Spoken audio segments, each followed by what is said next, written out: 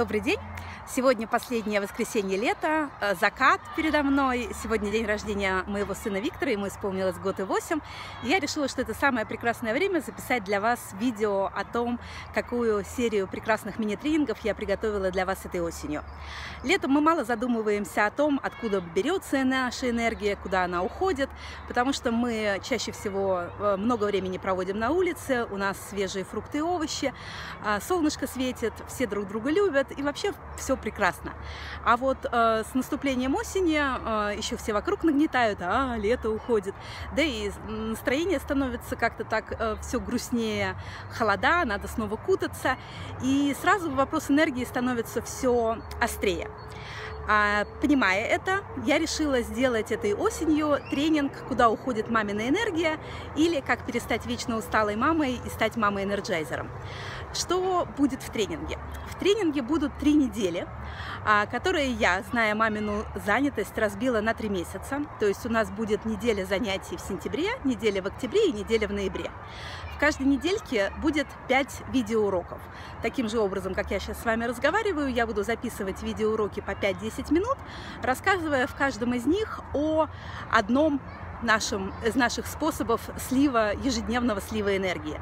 А, мы на самом деле действительно не замечаем, как наша энергия уходит в ежедневных наших обидах, спорах, а, в словомешалке в голове, в таких вещах, которые мы часто рассматриваем как а, обычные спутники жизни и даже не задумываемся о том, как их остановить.